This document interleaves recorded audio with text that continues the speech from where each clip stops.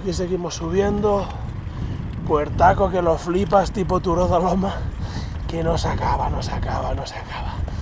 Ay.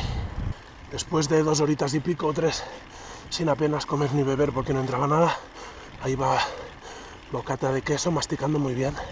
A ver si entra porque si no, si no puedo comer hasta el siguiente batallamiento, entrará pájara y voy a quedar medio muerto por aquí.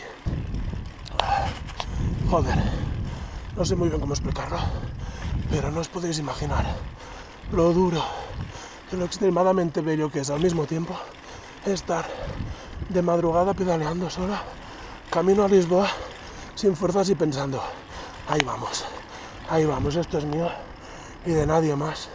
Y justo este momento no toca compartirlo, sino disfrutarlo y sufrirlo. Solo de noche y camino a Lisboa. Pues ya que nos hemos perdido, vamos a aprovechar para echar una meadita. Dale fuerte. No me jodas que tenemos que pasar por este fangal que es imposible, joder. Oye, fangal aquí, ¿eh?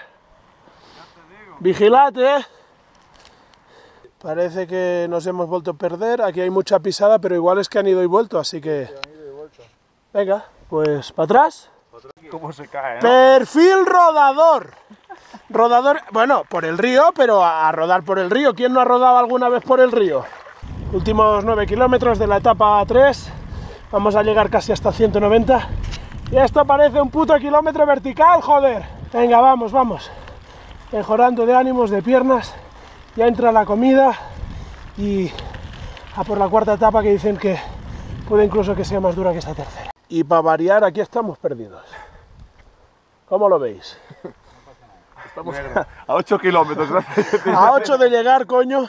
Venga, va, cuarta vuelta. Venga, a ver si hay suerte. Vamos para allá. Señora.